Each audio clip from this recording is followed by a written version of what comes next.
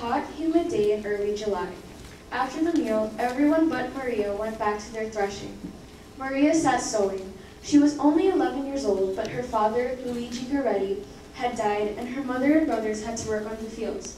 So the little girl was in charge of the household duties. They lived near Anzio, Italy, in a house they shared with Giovanni Serenelli, a widower, and his son Alessandro, who was 19. This day, Giovanni sat down to rest, saying he was sick. Alessandro was taken with Maria's beauty and had for some time tried to seduce her.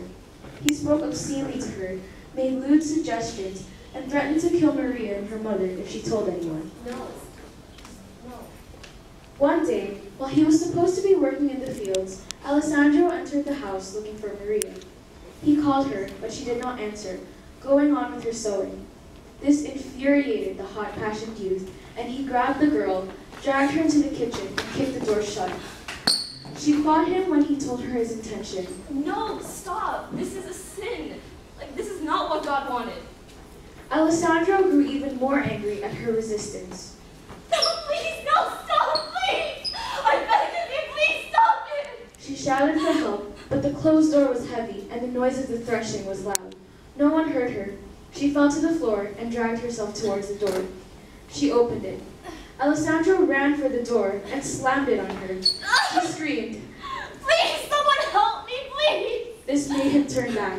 In a frenzy, he stabbed the girl six more times. No, please, stop. Dropping the knife, he rushed to his room and locked the door. Alessandro's father, who was asleep, did not hear Maria's shriek, but he woke up to the loud crying of the babies. He jumped up, found Maria in a pool of blood, and yelled wildly to the threshers. Oh my God, no, no. Maria's body was horribly mangled. It was a miracle that she was still even alive, because she could hardly breathe. When she saw her, her mother fell to the floor. They asked, Who did this terrible thing? And Maria whispered, It was Alessandro. He almost made me sin. I didn't do it. I didn't. She was taken to a hospital in a nearby town. The police came to get the defiant Alessandro.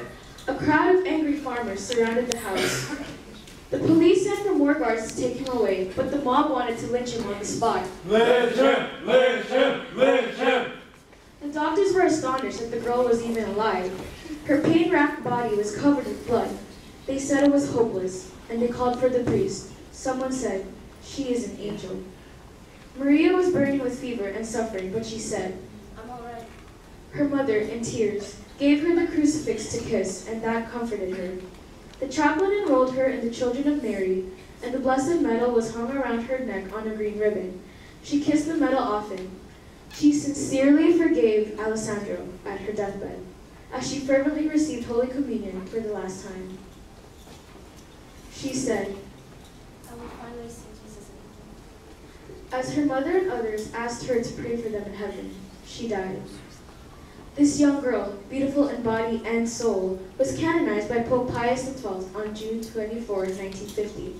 Her mother was present. Her feast day is July 6. The Holy Father, speaking of Maria, stressed the wholeness of her life. She, above all, stands for purity and heartfelt forgiveness, but also for love of the spiritual over the material, docility to parents, harsh daily labor and sacrifice in poverty, and a great love of Jesus in the Eucharist and devotion to his Holy Mother. Since her death, Maria has been the instrument of numerous cures and miracles.